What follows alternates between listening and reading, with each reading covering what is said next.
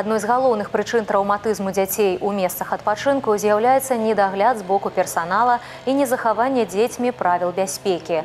Так у адным з аздараўленчых цэнтраў гомельскай вобласці пацярпеў 15гадовы хлопчык. Гэта ўжо другі такі выпадак ва ўстанове за два гады. Несовершеннолетний получил травму в в тот момент, когда оперся на керамический умывальник. и Керамический умывальник обвалился на пол, э, разбился, разлетелись осколки. И в связи с этим ему были причинены телесные повреждения. Сотрудниками прокуратуры, а также сотрудниками милиции проводится проверка. Пытанне бяспекі дзяцей у лагерах знаходзяцца пад пастаянным кантролем. Вядзецца праца па паляпшэнні інфраструктуры, навучанні персаналу, а таксама правядзенні інструктажаў для дзяцей па правілах бяспечных паводзін.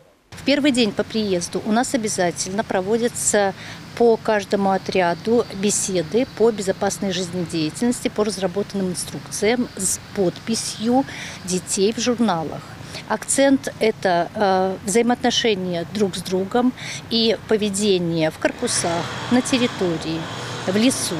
Інцыдэнты траўматызму падкрэсліваюць неабходнасць уважлівага падыходу да пытанняў бяспекі ў дзіцячых установах і заклікаюць да больш сур'ёзных мер па прадухіленні падобных выпадкаў у будучыні.